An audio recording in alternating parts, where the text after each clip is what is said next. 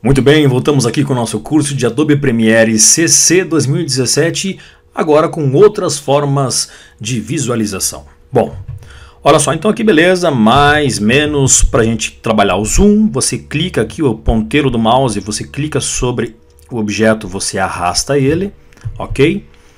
Só que é o seguinte, ó, beleza, eu te mostrei aqui então que o modo de visualização aqui ele pode ser ele pode ser assim, você mostrar o início e o final do vídeo. Deixa eu esticar aqui. Isto, aqui estava distante, né? Ele mostra inteiro. O início e o final, mesmo que você coloque numa camada superior, se não aparecer, basta que você abra a camada, tá? Você consegue, precisa abrir assim, ó. Belezinha? E então, contínuos ou somente o início. Perfeito.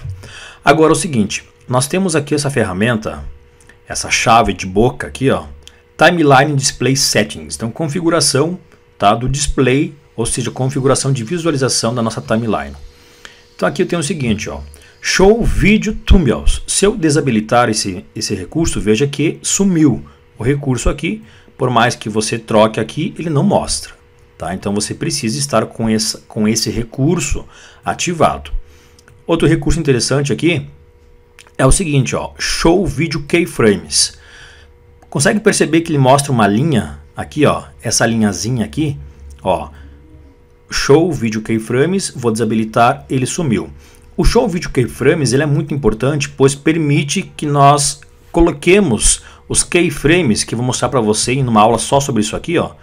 Os keyframes são essenciais, nesse caso do vídeo, para trabalhar a opacidade, ó. Então começou opaco e vai ficando visível. Então aqui eu posso deixar invisível de novo. Então com esta linha você consegue trabalhar com os keyframes. E se você desabilitar, não aparece. Tá? Então é interessante deixar também os nossos keyframes. Outra informação importante aqui é o nome, Show Video Names. Eu quero que apareça o vídeo? Não, eu não quero que apareça o vídeo. O nomezinho do arquivo do vídeo, tá? Por exemplo aqui, Shutterstock underline v2309387.mpg é o nome do arquivo. Aqui DJI, que é um, uma imagem de drone do DJI, DJI underline 0017.mp4. Então, se você não quer que apareça o nome, basta que você tire o nome daqui, ok? Beleza. Aí nós temos as informações de áudio. Show Audio Waveform. Eu não gosto que apareça as ondas de, de áudio aqui, o gráfico de áudio.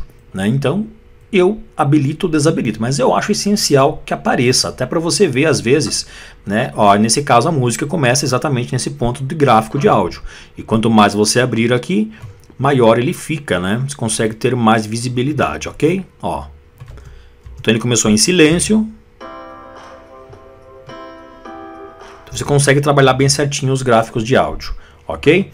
Outra informação para áudio aqui também, áudio keyframes se você quer que apareça os keyframes para áudio, então a mesma coisa é que na linha inicial, ó, se você baixar o volume, com a tecla Ctrl pressionada, nós colocamos os keyframes.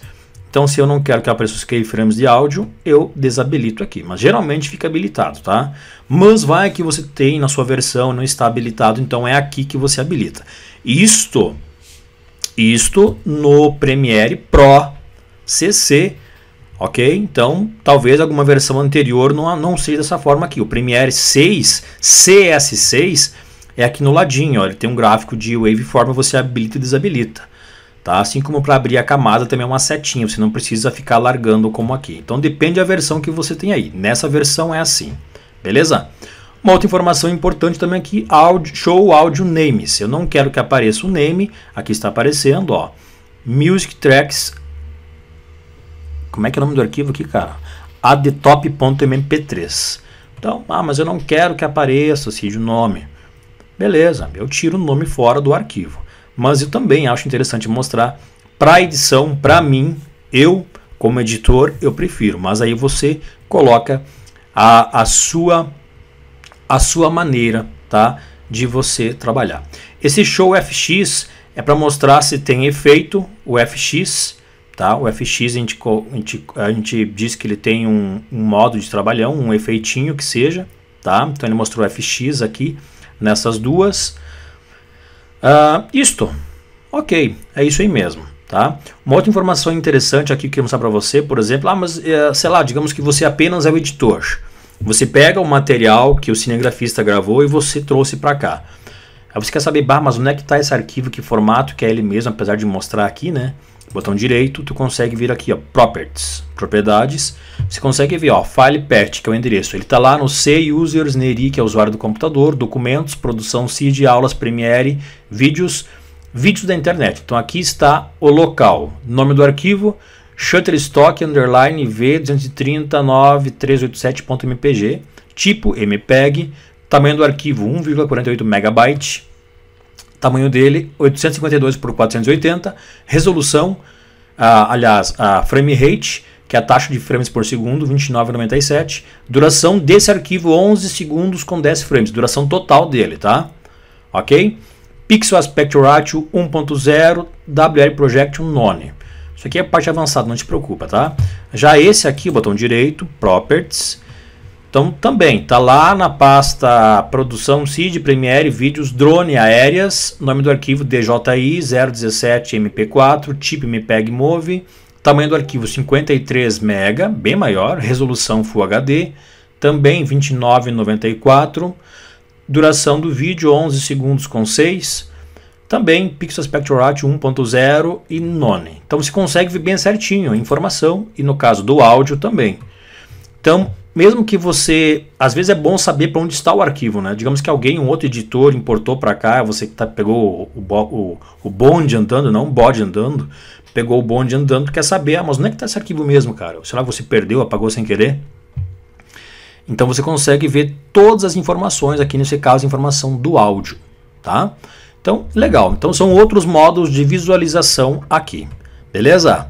Perfeito, né? Então nessa maneira aqui eu mostrei com você os modos que você tem para trabalhar a sua timeline, ok? Tanto para reduzir aqui o espaço, se você não deseja que apareça, por exemplo, eu gosto de trabalhar assim, tá?